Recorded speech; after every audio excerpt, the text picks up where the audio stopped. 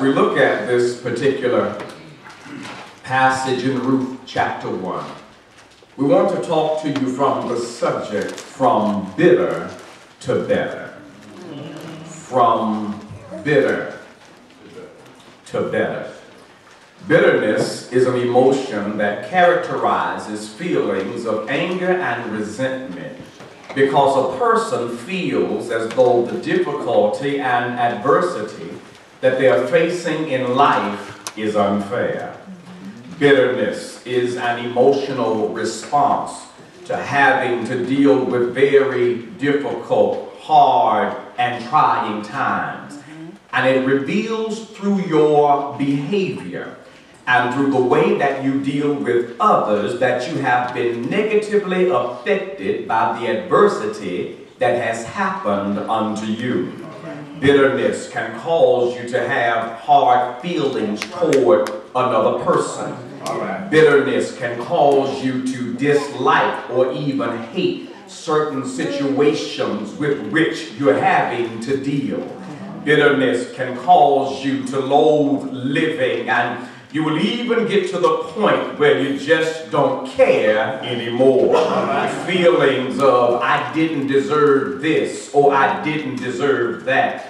Feelings of, why did this have to happen to me? Feelings of, this life is unfair and I shouldn't have had to deal with what I'm dealing with are all feelings that give birth to the bitterness of bitterness. Okay. If you, it doesn't matter really who you are or where you're from, none of us in this life are immune to the bitterness right. of bitterness. Right. None of us are above the effect of feeling negative because negative things have happened unto us. When you look at the Bible, the Bible shows us that various ones of the children of God have had to deal with this emotion of bitterness because of bitter situations that have occurred in their lives. The children of Israel became bitter because of the gross mistreatment of the Egyptians in Exodus chapter 1 and verse number 14. Esau became bitter and cried with a bitter cry after Jacob had stolen his birthright in Genesis chapter 27 and verse number 34. Job's life was bitter because of the bitterness of his extreme suffering in Job chapter 10 and verse number one. Ezekiel was bitter in spirit because of the hardness of the hearts of the, of the exiles to whom he was prophesying in Ezekiel chapter 3 and verse number 14. Right. David's life became bitter when the people wanted to stone him because the Amalekites had burned Ziklag with fire and had taken their wives and their children captive. 1 Samuel chapter 30 and verse number 6. Hannah, Elkanah's wife, was bitter in soul when she was constantly taunted by, taunted by Peninnah because she couldn't have a child in 1 Samuel chapter 1 and verse number 10. All of these examples, my brothers and sisters, show us that none of us are immune right. from becoming bitter That's over right. various misfortunes of life. Okay. None of us are so great. None of us are so well intact None of us are of such a high spiritual status that we cannot be negatively affected by what is negatively affecting us. And if we're not careful, my brothers and sisters, life and the various adversities of life can and will make us bitter. But the hope of this lesson is to show us how that God can take us from bitter unto better. This is why God always has to be your choice. This is why no matter who you are in life and no matter where you are in life, you got to make God your choice. When you make God your choice, you will discover that God alone has the power to turn bitter into better. We find this out as we look at the book of Ruth in Ruth chapter 1, the last time that we visited this sacred and holy book. We were studying about a woman named Naomi, whose name means pleasantness, but Naomi was dealing with some very unpleasant circumstances in her life. First of all, we learned from Naomi that, that she was displaced because of a famine that took place in the land of Judah during the time of the judges. Not only that, but because of the famine, she and her husband and her two sons left their homeland in Bethlehem and had come to live in the country of Moab. After spending some time there in Moab, Naomi's husband died. Ten years later, her two sons died. Now the woman Naomi is left alone, widowed, with her two daughters-in-law, and bitterness, as we're going to see from the text, has invaded her soul. After a period of time, she has heard how that the Lord has visited his people and that the Lord had once again given them bread in the land of Judah. So Naomi decides it's time for her to go back home to Bethlehem, but Naomi is so bitter that she wants to go back home all by herself. Okay. When you look at Ruth, Ruth chapter 1 and beginning at verse number 8, and listen to what she says to her daughters-in-law, the Bible reveals unto us that Naomi said unto her two daughters-in-law, Go and return each to her mother's house. The Lord deal kindly with you as ye have dealt with the dead and with me. The Lord grant you that you may find rest, each of you in the house of her husband. Then she kissed them. They lifted up their voice and wept. With Naomi words, my brothers and sisters, we can see that as she talks to her daughters-in-law, you can hear the bitterness and the resentment of her soul being expressed when she says unto them, Go and return to your mother's house. At this point, Naomi, as their mother-in-law, feels as though they would be better off with their own biological mothers. Them going back to their mother's house, house means that they would once again have a chance at life. While Naomi feels as though her life is over. And since she feels like her life is over, she wants to continue her journey all by herself. There's some things about bitterness that you're going to learn in this lesson this morning. And one of those things is that bitterness will cause you to want to be all alone. Bitterness will cause you to want to be by yourself, just with yourself, dealing with the bitterness that's inside of you. This, my brothers and sisters, is a state of despondency and despair. Whenever you're dealing with something so heavy and difficult that you don't want anybody else around, you're dealing with a bitter situation. When you're dealing with the trials and tribulations of life, and you've gotten to the point where your self-esteem has become so low that you just want to be alone there's an indication that you're dealing with a very bitter situation. As we look at the Bible, the Bible in Matthew chapter 26 and beginning at verse number 36 shows us that even as our Lord was facing the passion of the cross, our Lord's heart was so heavy, his grief was so great, this cup was so bitter that the Lord wanted to be all by himself. In Matthew chapter 26 and beginning at verse number 36, look there with me if you will. Matthew chapter 26 and beginning at verse number 36, the Bible says, Then cometh Jesus with them unto a place called Gethsemane, and said unto, unto the disciples, Sit ye here, while I go and pray yonder. Now he took with him Peter and the two sons of Zebedee, and began to be sorrowful and very heavy. Then saith he unto them, My soul is exceedingly sorrowful, even unto death. Watch this now. Tarry ye here and watch with me. But he went a little further. Notice how Jesus separates himself from his inner circle. What he's dealing with is so heavy, his grief is so great that he just wants to be alone. That's how you can identify if you're dealing with a very bitter situation in life. If you're dealing with something and You don't want anybody else around you. That's a very bitter situation that you have in your life. Lord goes on a little further. Praise to the Father and say, if it be possible, Amen. let this cup pass from me. It was a very bitter cup that the Lord had. A cup of sorrow, a cup of pain, a cup of suffering, doing for us what we could not do for ourselves.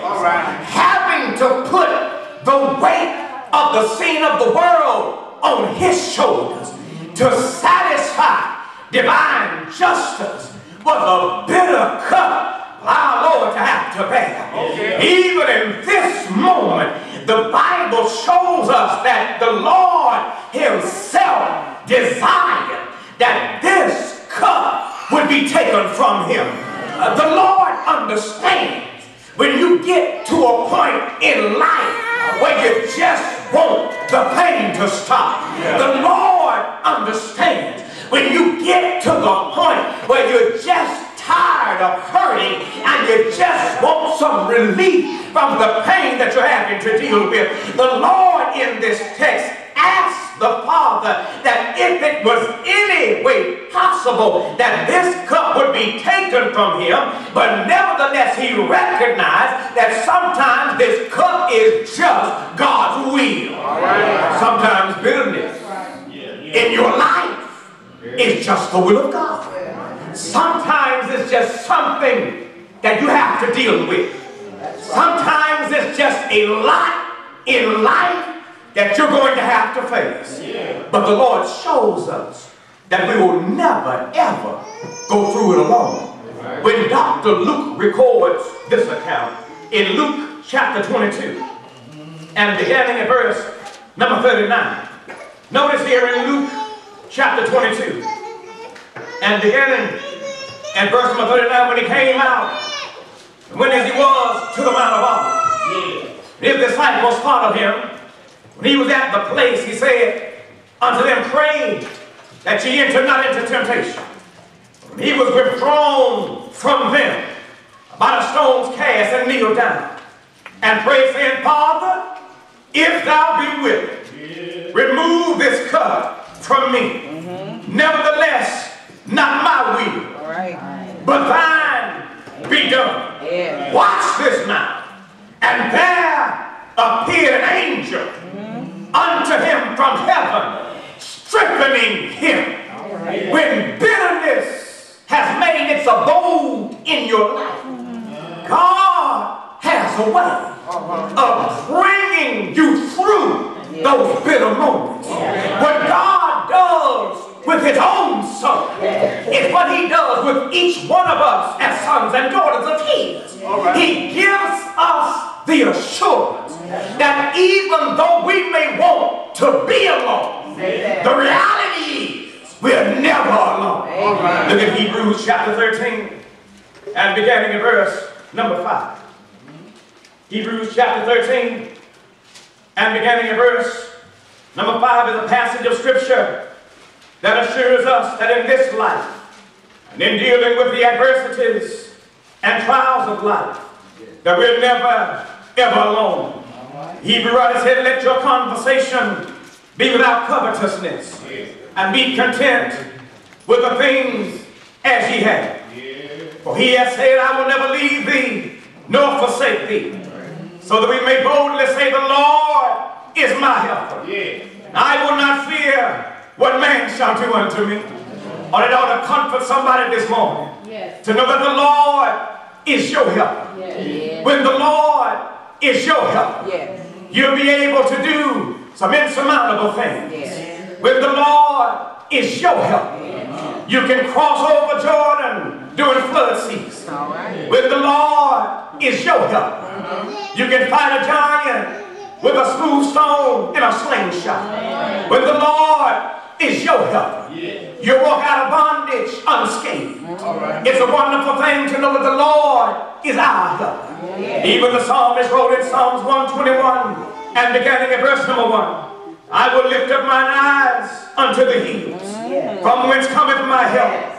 Psalmist said, My help cometh from the Lord, which made heaven and earth. Even during your times of bitterness, my brothers and sisters, one thing that's going to get you through the difficulty that you're facing is knowing that even though you feel alone, you're never ever really alone. Because the Lord is your help. Not only will bitterness cause you to want to be alone. But bitterness will also cause you to feel useless. Look back at our text in Ruth chapter 1 and beginning in verse number 10, notice that Naomi, that Ruth rather, and Orpah said unto Naomi, Surely we will return with thee unto thy people. Yeah. And Naomi said, Turn again, my daughter. Why will ye go with me?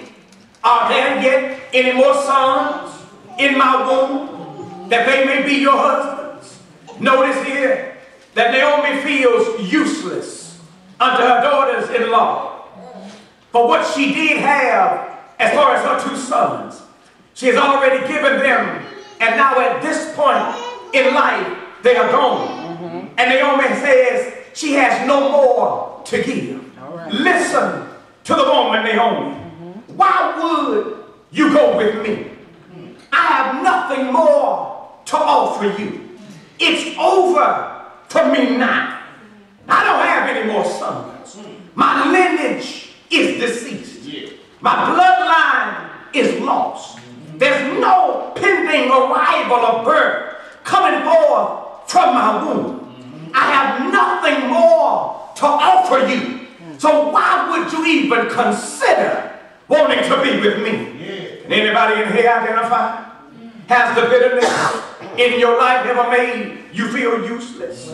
Has loss ever made you feel inadequate? And like you had nothing further to offer anybody? Have you ever felt like people were wasting their time with you, expecting something of you that you were never ever able to give? Bitterness, my brothers and sisters, will make you feel useless. But that's one thing that I love about making God my choice. God can turn bitter into better and show you just how useful you are. When you look at 1 Corinthians chapter 1 and beginning in verse number 25. 1 Corinthians chapter 1 and beginning in verse number 25, the Apostle Paul encourages the children of God to consider who they were and how they were when the Lord called them. The Lord just doesn't call the might, the mighty, and the great in order to accomplish his will, but much to the contrary. God calls those who are weak. God calls those who have been refused. And those are the ones that God uses to do great things in his kingdom. If you've ever felt useless, you're in the right place this morning.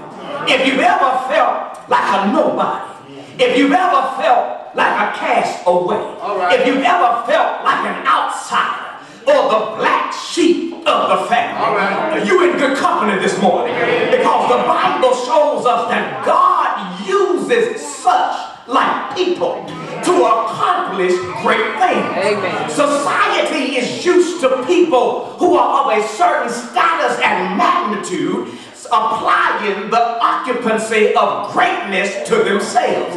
But when it comes to God, God will take the weak and the lowly.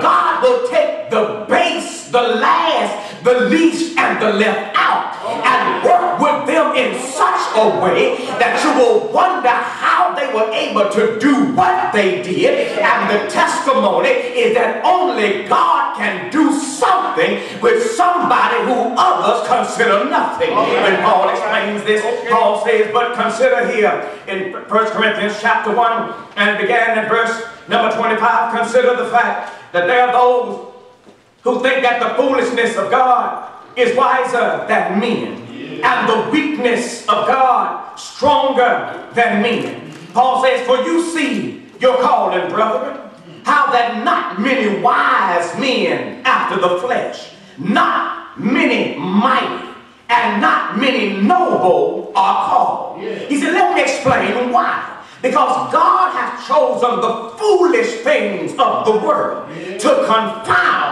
the wise. Okay. God has chosen the weak things of the world to confound the things which are mighty. Okay. And the base things of the world which are despised God hath chosen, yea, and the things which are not, to bring to naught things that are, so that no flesh can glory in his presence. Let me lay it in your lap this morning. When you know you ain't strong enough, when you know you're not smart enough, when you know that you don't have the ability to accomplish a great task, and yet you accomplish a great task, that's a testimony that God don't have to use great to bring about great. God can use not great to make great because God is a great God. Amen. Amen. God knows how to make a nobody somebody. And so if you feel like a nobody this morning, you're in the right place at the right time. God can make a nobody into somebody. Give God a giant to fight. He won't send saints. He'll send a little shepherd boy keeping his daddy's sheep. And standing before him with a slingshot and a smooth stone. And let him walk away with the testimony that the same God who rescued me from the lion and from the bear is the same God that rescued me from him. Give God a blessing to give the world. He won't send it through, through Methuselah. Methuselah was the longest living recorded human in history. 969 years old. Having children all the time that he lived. But when God got ready to send a blessing to the whole world, he didn't send it through the man who potentially had the most children. He called an old childless man from Ur of Chaldees named Abram. Chose him with a woman whose womb was shut named Sarah. And told them when they had no children, I'm going to make you a father of a multitude. See, God can make a nobody into somebody. Give God a people to deliver from bondage, and he won't send Solomon, but he'll put a slave baby in the river, place him in an ark, guide him to Pharaoh's daughter's eyes, raise him up in the Egyptian Pharaoh's household, and then send him back to bring his people out of the land of Egypt. Give God a to feed, and he won't send manna from heaven, but he'll grab a little boy's sack lunch by the seaside, make the men sit down, have his son pray over it, and then give everybody more to feed everybody.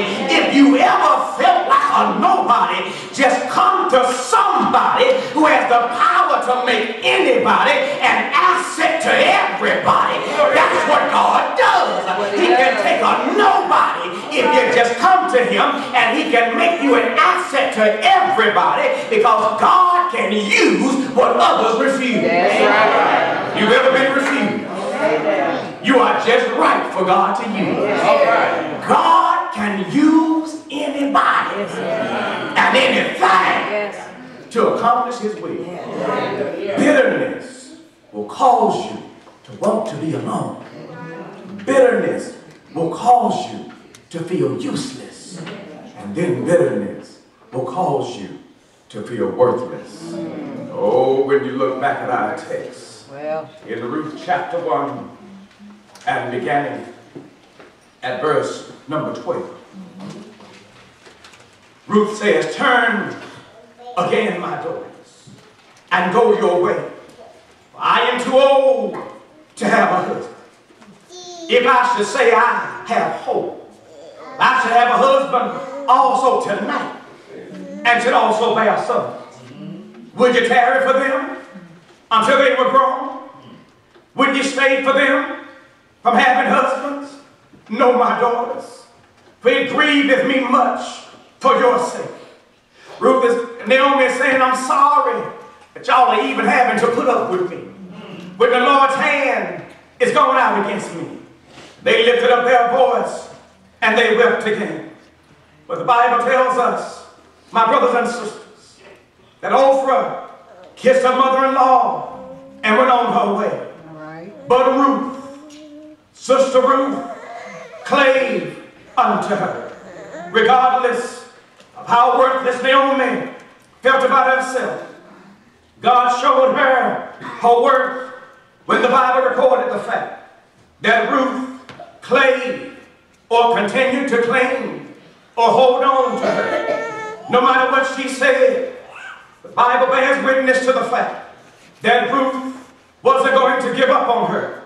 No matter how empty she felt, she was going to stay right by her side. Mm-hmm. No matter where she went, Ruth said that she was going where she was going. Mm-hmm. The true value of Naomi is seen in the actions of Ruth. Mm-hmm. And Ruth is not holding on for what she thinks she can get, but Ruth is holding on because of what she already has. When you listen to the voice of Sister Ruth, Ruth said, Entreat me not, verse 16, to leave thee or to return from following after thee. For whether thou goest, I will go. And whether thou lodgest, I will lodge. Thy people shall be my people, and thy God, my God. Where you die, will I die, mm-hmm. and there will I be buried. The Lord do also to me and more also, if aught but death part me and thee. Mm-hmm. Ruth understood the value of what she already had. To Naomi, looking at her own life, it may not have looked like much, but Ruth saw something that was worth everything. Amen. And I'm so glad that the Bible testifies mm-hmm. That in the midst of disparity and discouragement, in the midst of desolation and darkness, that there's somebody out there that can see your value in what others are rejected. Right. When the Bible shows us the actions of Ruth, it shows us that she saw something beyond the pain. She saw something beyond the hurt and the disappointment. She knew that the bitter in her life would only get better if she made God her choice. Amen. And that's essentially the message for you this morning. You might have encountered some bitter situations in life. You might be in a position where the darkness of disparity is clouding your better judgment. Well, but if you just hold on to God's unchanging hand, God has the power to turn bitter into better. When you look at the fact that we've been saved by grace, it's a strong indication that God can take the bitterness of sinfulness and turn it into something better for his children. And what God does is what he shows us through the actions of Ruth. Oprah, in that particular setting, represents those who will leave you because you have nothing more for them. But Ruth, in that particular setting, shows us the character of God that when everybody else has walked away from you, there's somebody who will stay right there with you. Old Ruth said, don't try to make me leave you because I'm going to stay right here with you. And isn't that just like the character of God? Isn't that just like our Father who sits high but looks low? Isn't that just like him who loved me more than I could ever love myself? He will not only stay with me, but he'll be everything to me that I need him to be. It doesn't matter what you are in life or what your life has been in life. God knows how to be everything to you that you need him to be. In, in essence, if you are an artist, God knows how to be to you one who's altogether lovely. If you are an astronomer, God knows how to be to you a bright and a morning star. If you are an architect, God knows how to be to you the chief cornerstone. If you are a baker, God knows how to be your living bread. If you are a biologist, God knows how to be life unto you. If you are a builder, God to you will be your sure foundation. If you are a doctor, God will be your great physician. If you are an educator, God will be your great teacher. If you are a farmer, God will be your sower of the seed and your Lord of the harvest. If you are a geologist, he'll be your rock of ages. If you are a horticulturalist, God will be to you a sweet rose of Sharon and a lily down in the valley. If you are an oculist, God will be your light to your eyes. If you are a judge, he will be your judge of all men. If you are a juror, he'll be your true and faithful witness. If you are a journalist, he'll be your glad news of great tidings. If you are a jeweler, he'll be your pearl of great price. If you are a philanthropist, he'll be your unspeakable gift. If you are a philosopher, he'll be the wisdom of God for you. If you are a preacher, he's the word of God in the page. If you are a theologian, he's the incarnate truth. If you are a toiler, to you he'll be a giver of rest. If you are a statesman, he'll be the desire of all nations. If you are a sculptor, to you he'll be the living stone. If you are a student, he's the word of God made flesh. If you are a sinner, he'll be the Lamb of God which takes away the sin of the world. And if you just in need of somebody who will hang on to anybody, then to you he's the one that can be touched with the feeling of our infirmities. Uh, talking about somebody who was tempted in all points like as we are, but yet without sin. He's the one who can see beyond the pain. He's the one who can see beyond the hurt. And he can see beyond the mistakes that you made in your life and recognize that while you may be nothing to others, you still got some value to him. He's a high priest that is affected by what we are affected by. He's somebody who understands what it feels like to be betrayed. He's somebody who understands what it feels like to be lied on. He's somebody who understands how it feels to be talked about. He's somebody who understands how it feels to be misunderstood. And so if you've been in either situation that I just mentioned, why won't you come to Jesus? Why won't you come to somebody who can save anybody and make you an asset to everybody? Jesus can do it for you because he sees value in you when others can't see any value in you. Don't you ever let anybody convince you that you're not worth anything. Don't you ever let anybody tell you that because your mama wasn't nothing, you ain't nothing. Don't you ever let anybody convince you that since your daddy was a scoundrel, that you will be a scoundrel as well. You just tell them that when you decided to put your hand in God's hand, when you decided to give your life to Christ, and when you were baptized for the remission of your sins, that the Bible said old things are passed away, and that everything has become new. I'm a brand new creature in Christ now. My past doesn't matter. It doesn't matter who I used to be, and it doesn't matter what I used to do. I serve a God that has erased my past, and now I am redeemed. I'm more now than I've ever been before in my life because I understand, like Paul, that it's not me, but it's Christ who lives in me. And the life that I now live by the flesh, I live by the faith of the Son of God who loved me and who gave himself for me. Since I've been redeemed, I now know that all things work together for good them that love the Lord. It didn't matter what happened. God worked it out for my good. They may have meant it for evil, but God worked it out for my good. Since I've been redeemed, I can show enough say that the Lord is my shepherd and I shall not want.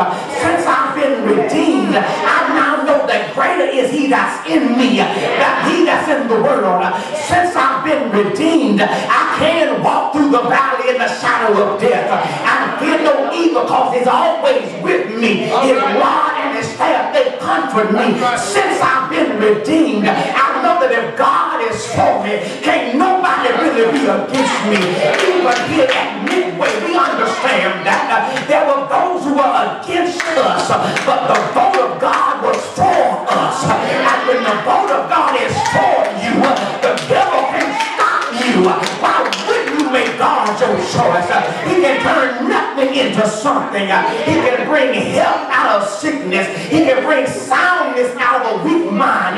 God can do anything but fail, but you got to come to him in order for him to come to you. Are you getting this? You got to come to him in order for him to come to you.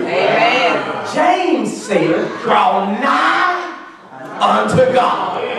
Y'all seeing this? Draw nigh unto God.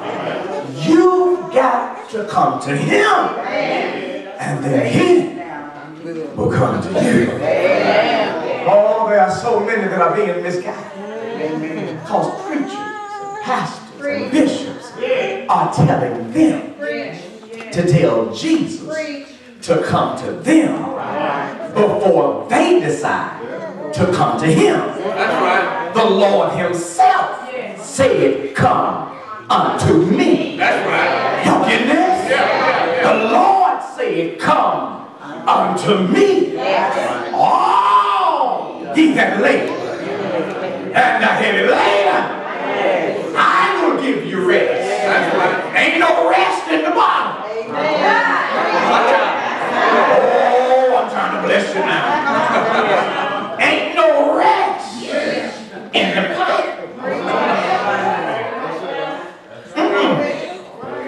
Ain't no rest in the hotel room. All right. Say it. Cuddled up with somebody who ain't your boss. Ain't no rest in that. That's right. Ain't no rest at the casino. All the flashing lights. And the aroma coming from the kitchen. That draws you in. No rest in that. Jesus says, Come unto me, and I will give you rest. Lord, what kind of rest do you have? I'll make your enemies your footstool.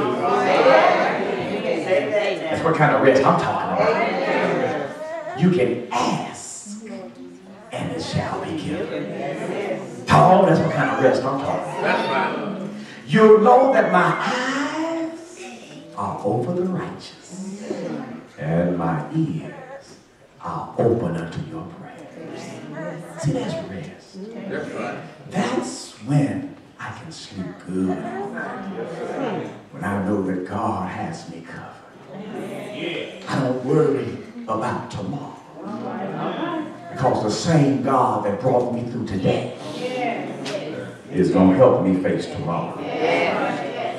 So many of us face hopeless and bitter situations because we don't really believe that we are worth the love of God. That's right. The Bible has already testified that while we were yet sinners, Christ died for us. You couldn't, if you wanted to, make me think I ain't worth nothing. I know my self-worth. I am worth the blood of God being shed on my behalf. That's how much I'm worth. Right. And what we need to do as children of God is act like what we're worth. We are worth an immeasurable price. Why are we living like that? Why aren't we living like the kings and the queens that God has ordained us to be? Why isn't your life full of more joy?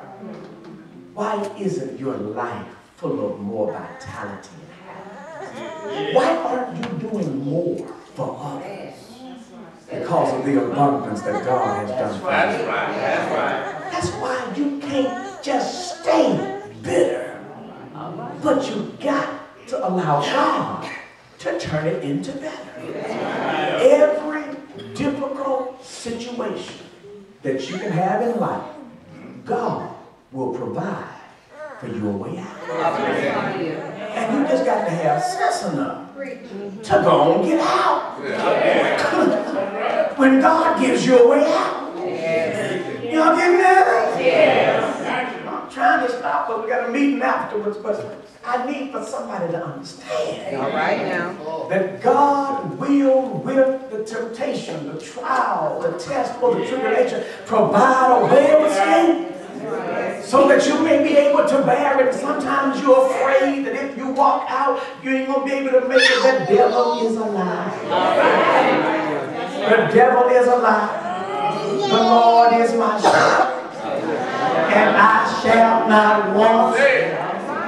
I'm afraid to walk out because I'm afraid of what they're gonna do and what they're gonna say, baby. The devil is a lie. God has not given us the spirit of fear.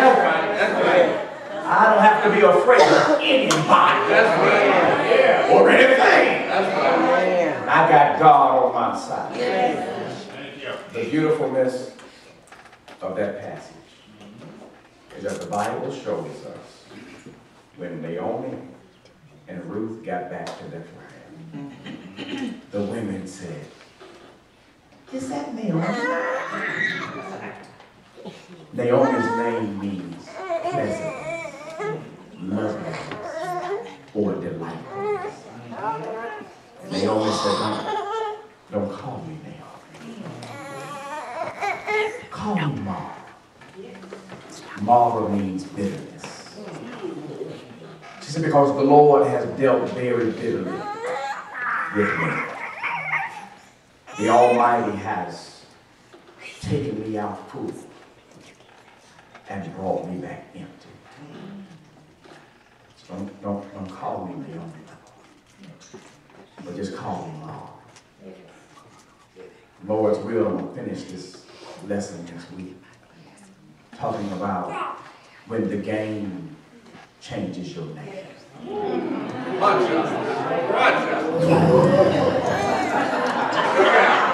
When the game has changed your name.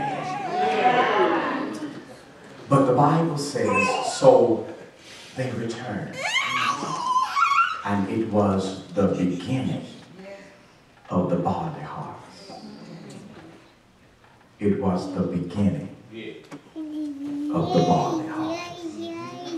Lord will, next week I'm going to show you that the beginning of the barley harvest marks the better getting ready to happen.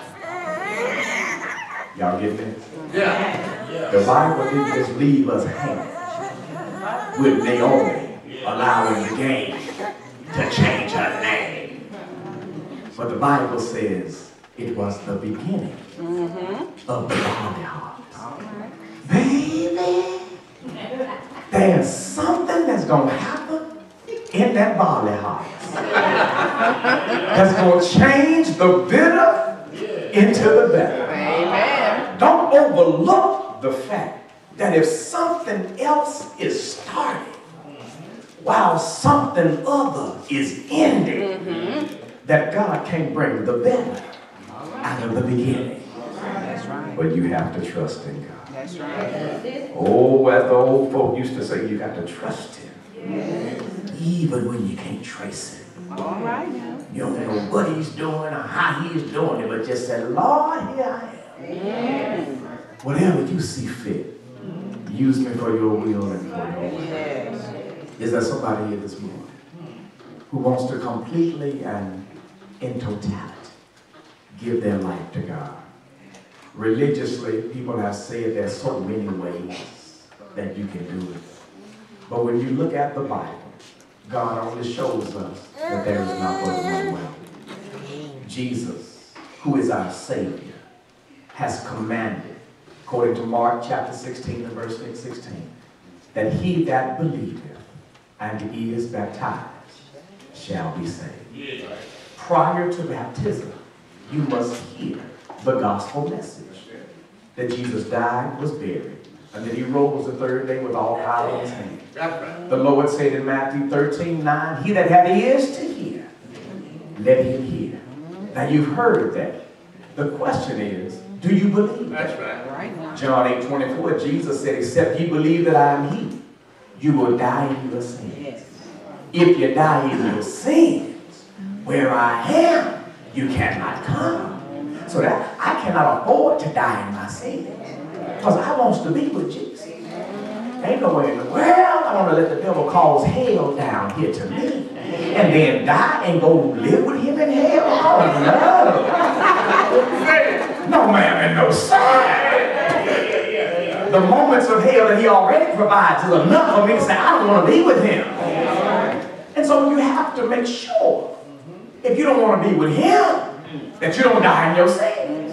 Now, one way to make sure that you don't die in your sin is to repent of your sin. That means you got to give it up and turn it loose. Walk away. Change your number. Don't ride down that street no more. Quit calling them. Stop going over there. Stop drinking that. Stop eating that. Repentance is a change of heart.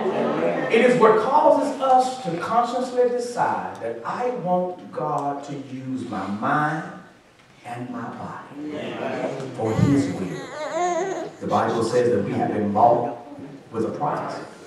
And because of that, we have to glorify God in our body and in our spirit, which belong to God. I don't belong to myself anymore. And that's what you have to decide. You have to decide that you have messed you up. And now you want to give you to God so He can straighten you up and fix you up. So repentance is something that you can do from right where you are. You can decide that the last time was the last time. Last time you lied was the last time you lied. Last time you cheated was the last time. I'm just trying to make it plain for you. The last time was the last time. And you can decide that right now.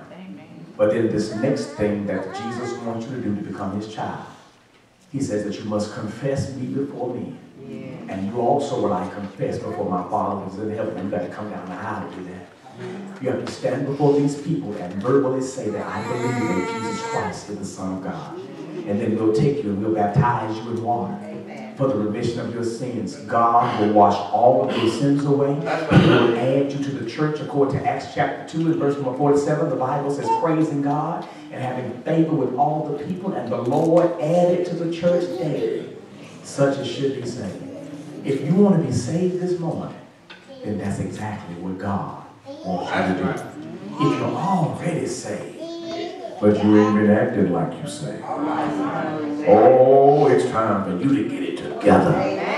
Because the Bible says that judgment will begin at the house of God. And if it's going to start with you, then you best to be ready.